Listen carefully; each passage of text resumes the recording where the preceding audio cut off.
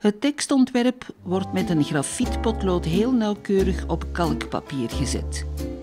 Dan wordt de kalknotitie omgekeerd in spiegelbeeld vastgelegd op de koperplaat, waarop een dun laagje was is aangebracht. Het grafiet wordt nu stevig in de was gevreven.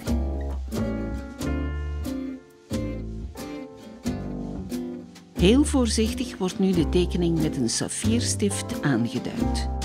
Een erg delicaat werkje.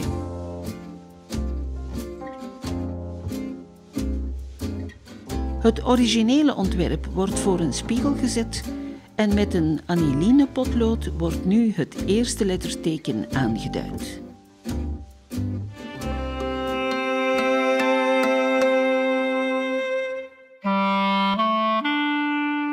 U ziet dat ik met de plaat de richting bepaal.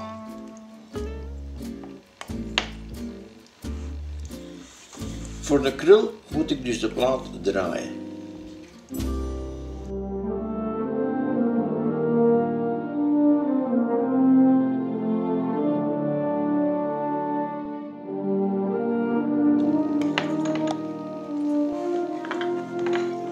Dan neem ik de braam weg. Voorzichtig, zonder de plaat te kwetsen.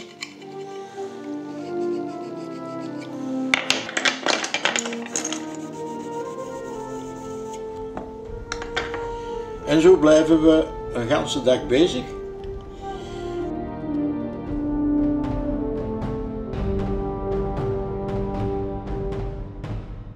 Lijn na lijn stijgt de spanning.